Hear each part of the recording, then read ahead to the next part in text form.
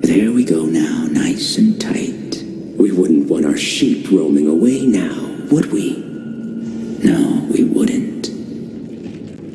I must admit, I am honored you came all the way down here to visit me. It almost makes what I'm about to do seem cruel. But the believers must honor their savior.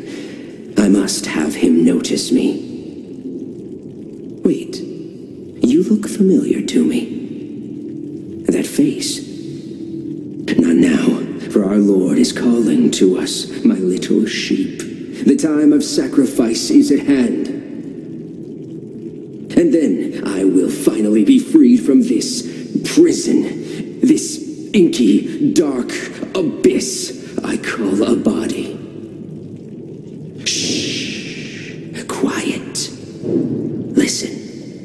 Can hear him crawling above, crawling.